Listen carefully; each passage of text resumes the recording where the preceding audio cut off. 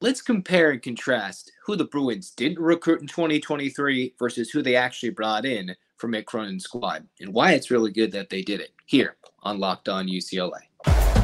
You are Locked On UCLA, your daily podcast on the UCLA Bruins, part of the Locked On Podcast Network, your team every day.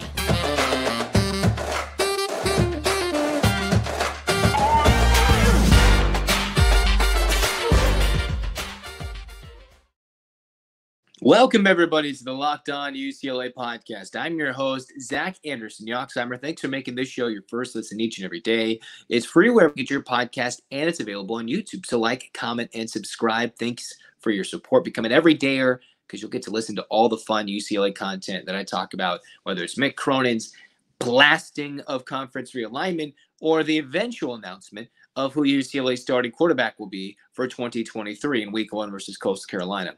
Where we start today, I thought it'd be fun to compare and contrast what UCLA went after in terms of recruiting this year in 2023 for their class of 23 and who they actually brought in and why it's good, why it's interesting, and where those other recruits might be currently that the Bruins are striving so hard to get, maybe as far back as 2021 with official visits, offers, and top fives, sevens, whatever it might be for some of these top name recruits. Because remember, Mick Cronin earlier earlier on, and it seemed like the Bruins really struggled to get a lot of these 23 guys in.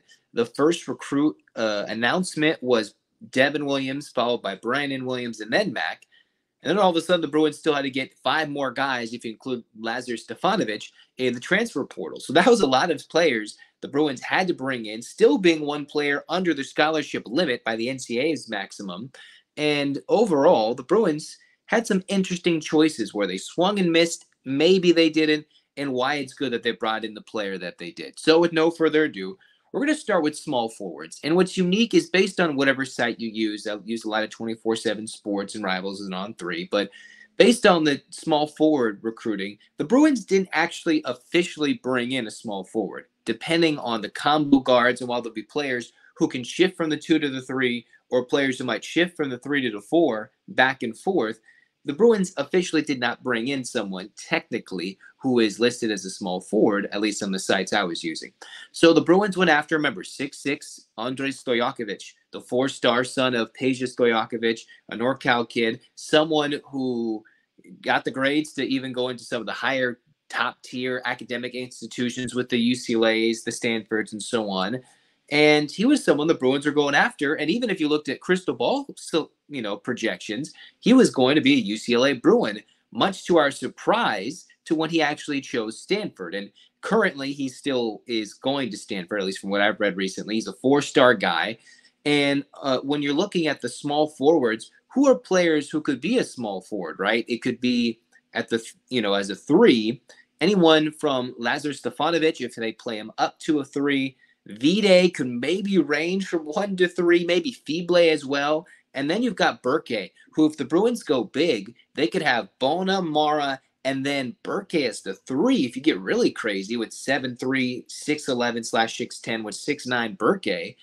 And that's someone who you could get a lot of size after what they're going with Stojakovic.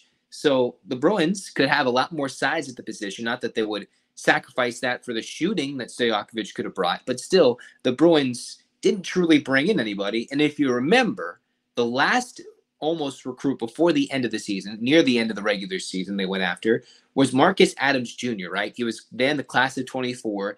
In the process, as I was talking about, reclassifying from 23, the Narbonne High School kid from Harbor City, six-eight small forward, classified from 24 to 23, a four star kid, visited UCLA. There's a lot of hype. He was talking about it, had UCLA in his final two or three, saw the Pauley Pavilion was rocking. Everybody was giving him a good time, and it looked like he was a UCLA kid right in their own backyard. No official small forwards. Remember, this is before the Vides, the Fibleuils. This is obviously before Stefanovic was in the transfer portal. And you had two power forwards in Williams and Brandon and Devin Williams at the time. Uh, Marcus Adams Jr. seemed all set, ready to go to UCLA, only to eventually say, I'm going to Kansas, where he committed and then decommitted after enrolling in the middle of the summer and then transferring to Gonzaga.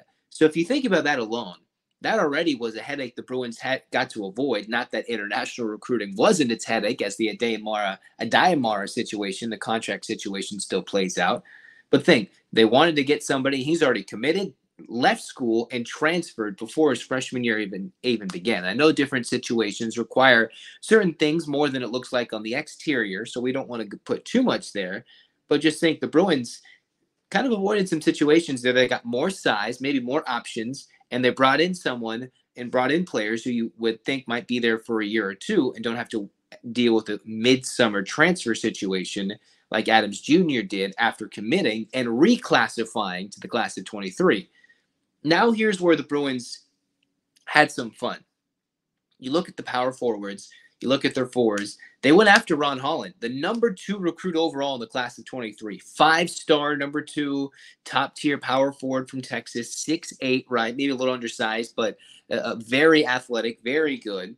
And then he had UCLA in his final three with Arkansas and Texas eventually committed to Texas in the fall of 2022 when the Bruins maybe had a chance. He had the home state kid, and he thought, all right, Ron Holland, we'll see what happens. He decommits eventually and then decides to go pro.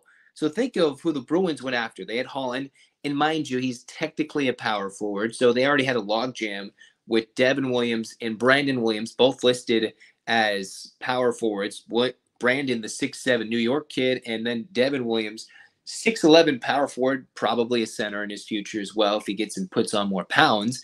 Mick Cronin's already alluded to Brandon being a lot going to have a lot of time to grow this chan this time in Spain. And then Devin Williams, who he's already high on his future, we talked about in the most recent episode of Locked On UCLA, which is why he should be an everydayer for the Locked On UCLA podcast, because Mick Cronin, with all his quotes, he had a good 18 minute interview with the media on August 17th, he talks about how Williams, once he puts on strength, will be very good. So here's two of those three recruits, right? You had someone who was crystal ball to UCLA, didn't go there. You had someone who looked like he was going to UCLA, reclassified, transferred after a commitment, someone who decommitted. I know the Texas situation is a little different in terms of what Ron Holland had to deal with, with all the the Chris Beard and all that that went on. But then he eventually decommitted and went pro. The Bruins still could have tried to grab him at the last moment when he decommitted.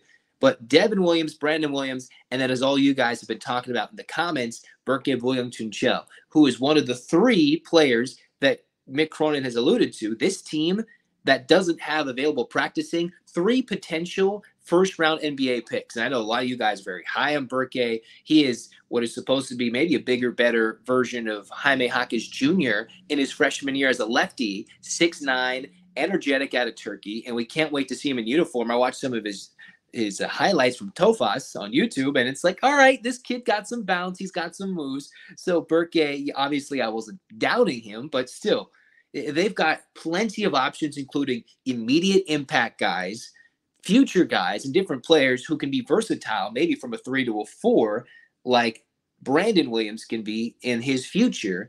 And depending on his development as a 17 year old freshman right now, going and heading into Spain, all with three guys who went different places for various reasons. But just look at that. You could have a first rounder for UCLA potentially filling in for Holland, who's already chasing his pro dreams and a couple of other guys the Bruins can mix and match with separate options to fill that hole in the three, right, for the small forward opportunity. And then coming up next, we're going to talk about the guard, the combo guard options, the point guards, which the Bruins didn't really recruit, and then we're going to talk about center, right? Because the Bruins had a little bit of an inkling towards the center, and then obviously we knew who the Bruins were going after when it was all said and done. We'll talk more about it and continue this process. Who the Bruins went after a bit, who they got and where's the comparison. We'll talk about that more here on Locked On UCLA.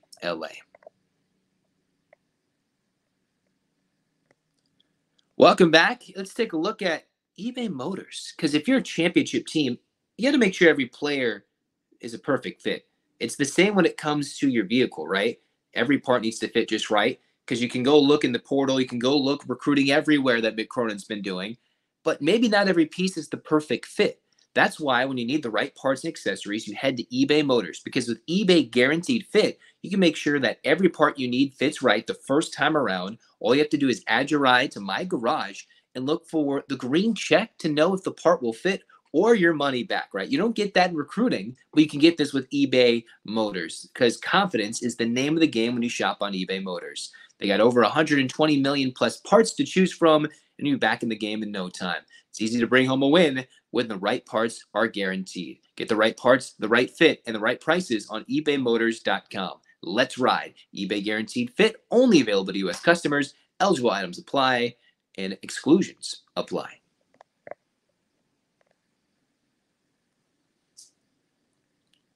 Continuing on on the Locked On UCLA podcast, Zach Anderson, Yoxsimer, Yoxsimer with you guys. Sometimes I trip over my own name as well.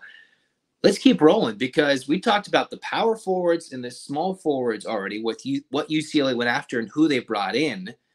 And now let's take a look at the center. And the one center I thought UCLA was kind of going after, it's been a little bit, but Aaron Bradshaw, if you remember that name, it's because Bradshaw eventually committed to Kentucky top center. He's a seven footer would have been UCLA's first seven footer under Mick Cronin, his first in a long time in terms of recruiting guys seven feet or taller.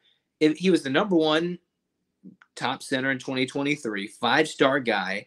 And he did have UCLA in his top seven alongside the Kentuckies, and then had the likes of the pro option of very other various other schools. But then after a few official visits, a coach visit by uh, Calipari. Then he eventually went to Kentucky, went there, and that's where he's continued his journey. UCLA, you're thinking, all right, how do you go from maybe being not necessarily on the precipice, but kind of on the outskirts of getting a top center in this class? They expected Bona to be gone, considering his Pac 12 Freshman of the Year award win this year and what he's displayed. He could have been an NBA first rounder if he wasn't hurt, if not a fringe top tier second rounder. And who are they going to replace, expecting Bona to be gone? All of a sudden, as we talked about, mystery, mystery recruit back in April, ready? Back in April and everything in between, you've got a Mara, who's still dealing with the goofy contract situation and leaving and having to get to UCLA a little later than Mick Cronin would have liked but he is someone who I've already teased different draft mock experts and mock drafts for 24, which is supposedly a, a weaker class than in recent years for the NBA that'll be coming in. But for Mara, you've got someone who is lottery potential who could easily compete if he showcases the skills, the depth, the the flow, because he can easily be a four or a five offensively and defensively if they flip Bona based on what their role is on which side of the court. Mara is, you know, the Spanish savants potentially to come in and, and bring in some life. The first seven footer the Bruins have had under Mick Cronin and was one of the big key recruits in finishing off this class in the beginning of August and bringing it in. So someone who goes to Kentucky, all right, Kentucky's got those one and duns, but Mara brings us a lot of excitement. Cronin still got to see him on the floor, and we'll see how he can move up and down as a seven footer. Sometimes it's a little tougher to go up and down the floor, back and forth. So you wonder how much Mara can bring on the floor, certain stints at a time, how many minutes he can play. But you would think, all right, when you go after a seven footer and you bring in a seven three, maybe more mobile. Not entirely sure about that, but has great passing instincts, good rim protector, and helps keep Bona maybe out of foul trouble this year. That's a really good bargain for UCLA when you bring in Bona and Mar compared to what they could have brought in with Bradshaw. And now you've got the combo guards and these kind of the ones and twos, maybe dare I say small forwards here. You brought, you had Chris Johnson and Elmarko Jackson. And online they had different th- thoughts about Vide, maybe a four star, maybe a three star. Vide listed at six five, six six, depends on what you want to use.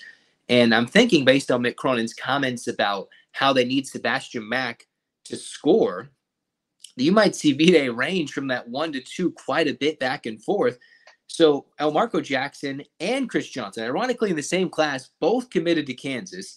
Johnson decommitted to Kansas, and then I think it said he enrolled, but he decommitted and went to Texas. Elmarko Jackson eventually committed to Kansas, and then the Bruins said, "Hmm, who's this slashing type guard that we need?" Well, they did get Sebastian Mack, who could be one of those guys, but Mick Cronin wants to limit his role to a scoring type thing, so he'll be a two. And then you bring in Jan Vide, who it might get more ball handling opportunity. Those are two guys who could split that combo guard role. And maybe those two players might not have fit in the system Cronin wants because he likes to, as he said, make it simple for the young players. You don't want them to be all right, a facilitator, a scorer, a defender, all these things. Of course, defense defense is very important, but hey, how important is your role? What is your role on this team? And having two players like a Vide and a Mack to bring it in are very important for moving forward. Overall, the top recruit in the class of 23 was a point guard. It was Isaiah Collier. The Bruins also went after Dedan Thomas, who eventually committed to UNLV. He did give some looks to UCLA. I believe UCLA was his last official visit, maybe before he committed to UNLV. And then Collier, who was the top recruit, the Bruins were in on him. SC, they both had an official visit with Collier just within the few days of each other last year before he eventually chose the Trojans. And UCLA didn't bring in a true point guard, actually, in this class. Technically, I know Matt could be listed there. You've got even the likes of uh, Dylan Andrews, who's from last year's class that they probably expected to take over for Tiger Campbell. And then even Vide is going to step in as that combo guard. Collier would have been a great talent, great talent to bring. But now Mick Cronin's both relying on the talent he's brought in, Vide, Mack, maybe not so much the point guard, and then Dylan Andrews, who's going to get that opportunity to step up and shine in a new role. And guys who were giving looks to UCLA, but now you've got the Bruins who had so many options. Every single player that they went after, the Bruins could have arguably got someone better or have someone waiting in the wings that's better right now or will be better in the future. You could argue all those things. Not that the Stojakovic's, the Adams Juniors, the Hollands, so on, the Colliers, they're not talented, but again, it's also the fit, right? You talk about the fit, the mixture, the culture. And Mick Cronin talked about his culture, wanted to go after less AAU guys, depending on the SoCal, uh, the SoCal bubble, if you will. How good's the SoCal talent, which is UCLA's recruiting base? The Bruins said, "All right, we're going to go in the backyard. They'll get Devin Williams, technically Mack from Vegas, but California, and then you've got the likes of the New York product and Williams. They go across the globe, completely change the scope of their recruiting, and imagine thinking, oh, Stojakovic was a Bruin. No, they missed on him. Adams thought they had him in the palm of their hand, missed him. Holland, multiple chances to go after him in the summer and before then, couldn't do it. Bradshaw, the Bruins had a look at him, but he was another Texas kid, and Coach Cal got his paws on him. And then Collier, you let your biggest rival across town get him. And it's like, wait a minute, what were the Bruins doing?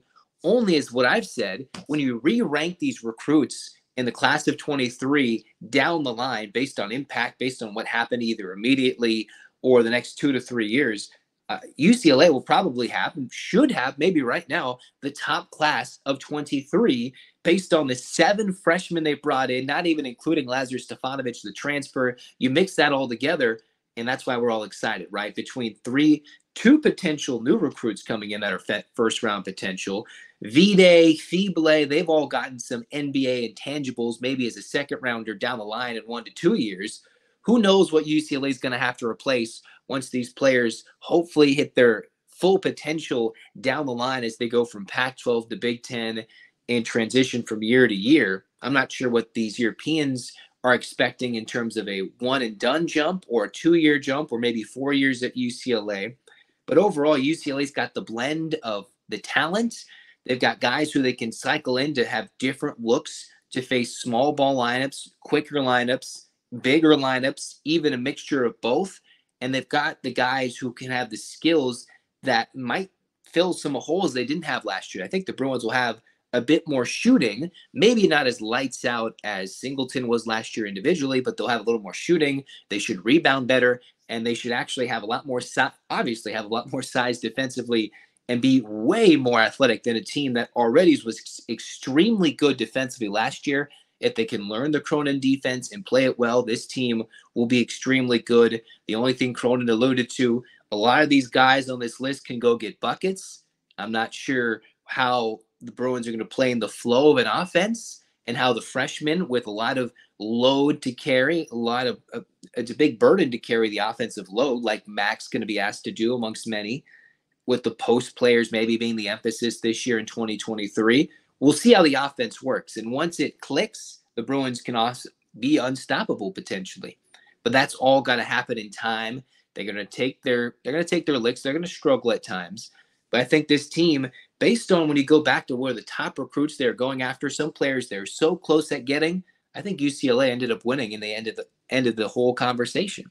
But we only will find out when they hit the court, put the balls in the basket, and all of a sudden who's cutting down the nets when it comes to winning a championship. One, two, who knows? Everything in between as we expect some excitement this year in 2023. Speaking of overall excitement, is UCLA football a top tier program of all time? Right? I know there's legendary Bruins, there's the Rose Bowl days, there's everything, the big move to the Rose Bowl.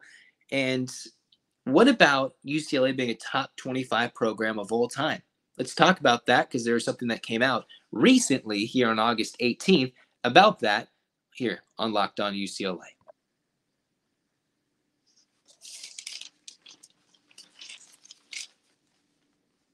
Welcome back. Final segment of the Locked On UCLA podcast. Zach Anderson I'm with you guys. Shifting to football. I know we're waiting for Chip Kelly to give us more tidbits. I know he even talked about uh, UCLA NIL beer names and everything in the most recent practice. And there's more drills to be looked at, a little more enticing moments quarterback wise. But still, we're, we're looking to figure out who is going to win the starting quarterback. All the GoPros, which you see quarterbacks wearing, especially for UCLA for their data analysis, all the quarterbacks were looking at it. So Chip Kelly's giving everybody a look. We're all expecting it to between, be between Garbers and Moore at this moment. Uh, I've been on the record again. I'll say it again put bring on more. We'll see who the best player is for the job, at least when it comes to week one. But for now, we're still waiting for that response and that answer from Chip Kelly until the season starts September in early September against Coastal Carolina. Something I thought that was interesting that came out. I think 24/7 Sports posted a, an, an article based around this poll put together by College Football Now. I think was the site, and it was who are the top 25 programs all time based on their AP top 25 finishes, which has been around since the mid 1930s. So, based on a point system between those couple of sites, it was if you get a point for being a 25 team when you finish the season, or get 25 points for number one, of course, that's very subjective. So, this is a very subjective list as to all right, is UCLA good? How long have they been good based on certain years? Recent relevancy, which we hope they pick it up moving into the Big Ten. But overall, UCLA in a list of top 25 programs all time based on AP top 25 finishes and where they finished is a top 20 program. They're amongst the ranks just behind Clemson and Miami. Remember the U, you have Clemson who won one national title, uh, what, in the 80s or something, and all of a sudden they've come into relevancy recently, right? So they've gotten a lot more points based in the last decade plus under Dabo Swinney. And then the Bruins are interestingly ahead of Michigan State. They're ahead of Arkansas, Texas A&M, Washington, and Wisconsin, right? Those are where UCLA slots in based on where they finished, how they've succeeded. And while, you know, there's some moments, Rose Bowl glory, maybe some not, the Bruins have been a consistent team where, in terms of 32 finishes, 32 times in the history of the AP poll, UCLA has been a top 25 finisher, seven weeks at number one. I believe there's been 39 times I was looking up that UCLA was a top 25 finisher and a preseason top 25. So, ironically, that there's a little mixture there. UCLA not in the top 25 this year, but overall, the Bruins have been a more consistent program. It's been a battle between them and the the the other you know schools with it with that color across town, right? with the the crimson and all the gold, whatever, in the Coliseum. And they've been battling for years and years, even sharing a home before. As I said last year in one of our first YouTube Locked On UCLA episodes, that the greatest thing UCLA did, maybe second to their move to the Big Ten, is what was their move to the Rose Bowl into claiming a home, which now we have different opinions potentially now. But that was the big move that transitioned into a Rose Bowl game appearance, into a dominant stretch against USC, into some dominance into the 80s and 90s, and even some early 2000s glory there. But UCLA, maybe despite all our you know, negative Nancy, negative, you know, just negativity sometimes about the lack of uber success that the Bruins could have had over the year, being in SoCal, playing at the Rose Bowl for quite so many years now. They, have been a good team. It's just, can they take that next step? Is the Big Ten move this next step? Clearly, they're a program that's recognized, that's viewed, maybe not taken seriously on a year to year basis based on what they've done transitioning from early 2000s and to now 2023 over the last 15, 17, 20 years. And there's been some lulls in certain seasons where there are high expectations for the Bruins, especially lack of bowl wins, lack of Rose Bowl opportunities, lack of competition or winning in the Pac 12 because the Bruins have not won the Pac 12 just yet. They've had those early Pac 12 championship appearances before the Pac 12 eventually disintegrated and before our very eyes, mostly due to UCLA and SC moving to the Big Ten with all the other schools jumping ship. But UCLA is a good program. Whether it's us young fans trying to remember the glory days, whether it's the older generation saying they were good and they haven't been good recently, or even the long-term UCLA fans, the long-term, you know, the Ed Kezirians, right? Coach K of UCLA talked about the glory days, the Terry Donahue's, right? Who's going to get that statue for, as a longtime UCLA dominant coach? Oh, the, the glory days that have stretched even longer than we realize. It's sometimes a good reminder that maybe they've had a lot of good times and that good times are beginning to follow, that they're a top 20 program of all time, not just top 25, top 18, based off where they finished subjectively in the top 25 of the AP poll over the years. So it's interesting to think about hey, man, hey, while we haven't gotten fans, while we haven't had the support, there should be that, and there should be a better experience as a UCLA fan going forward. But we got to make it, believe, and remember hey, there have been some great UCLA players, and there will be more to come.